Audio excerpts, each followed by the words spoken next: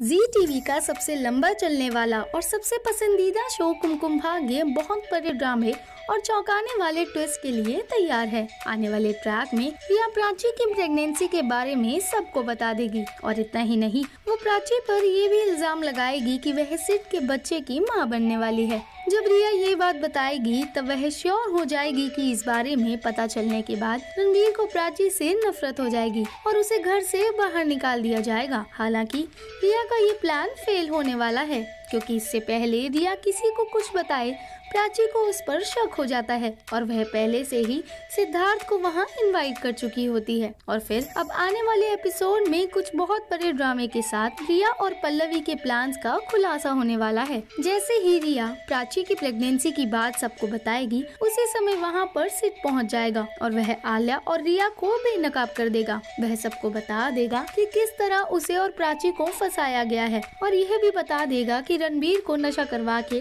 किस तरह रिया ने उसके साथ रात बिताने का प्लान बनाया था? और यह सब सुनकर रिया आलिया के सामने गिड़गिड़ाते हुए नज़र आने वाली है। वह आलिया से मदद मांगेगी, लेकिन तब तक देर हो चुकी होगी, क्योंकि दूसरी ओर यह सब सुनकर रणबीर बहुत गुस्से में आ जाएगा। और इतना ही नहीं, रणबीर को इस बात पर गिल्ट भी होगा कि उसने एक बाहर की इंसान रिया पर यकीन किया और अपने भाई और पत्नी के रिश्ते पर शक किया, जिसके बाद वह माफ़ी मांगते हुए प्राची के सामने घुटनों पर आएगा और कहेगा कि, प्राची, मुझे माफ़ करो। मैंने तुम पर इतना गंदा आरोप लगाया और तुम पर शक भी किया।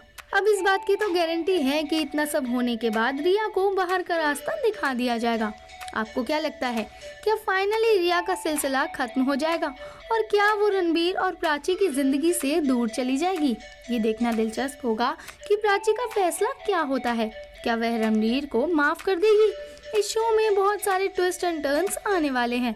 और वो सब हम आपको अपनी अगली वीडियो में बताएँगे। फ़िलहाल के लिए इतना ही। ऐसे ही अपने फेवरेट शोज़ की लेटेस्ट अपडेट्स के लिए stay tuned to media Darbar entertainment channel thank you